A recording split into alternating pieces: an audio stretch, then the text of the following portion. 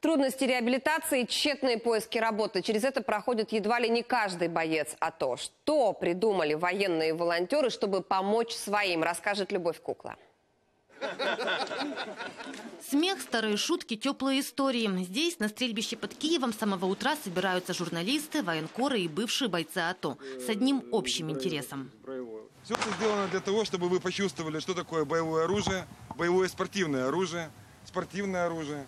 Вот. И отработали у себя навыки вот, э, владения э, в наши нелегкие времена.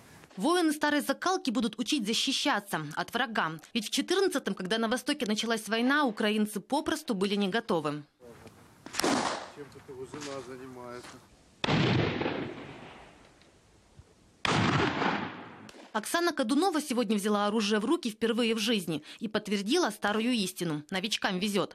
Девушка попала во все мишени. Вот только чувства от пережитого оказались далекими от радости победы. Это смешение какой-то э, тревоги э, немножко, потому что все это э, для меня все равно связано с э, войной. Вот. И все эти мишени когда-то мной воспринимались как игрушки. Сейчас очень смешанное чувство. Все это связано с войной не только для Оксаны, но и для ее инструкторов. Все они участники боевых действий. И здесь, в клубе, у них так называемая реабилитация. Делятся желающими своим опытом, адаптируются к мирной жизни.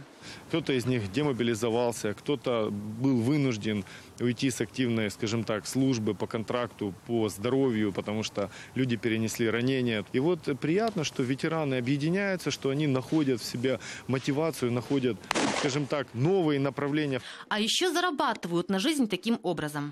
І після того, як військовослужбовці е,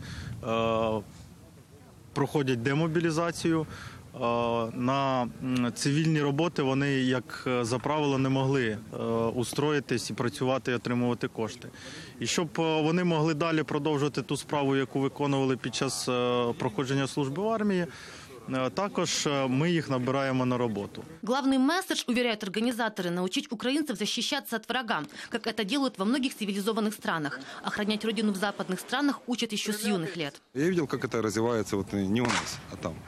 Вот. И видел, насколько это интересно, насколько это э, завлекательно, вот, э, насколько привлечено вот, э, людей вот именно как бы вот, в прикладные виды спорта вот, э, там, в, в США, во Франции, в Италии. А теперь и в Украине бывшие бойцы АТО готовы учить желающих здесь самообороне ежедневно.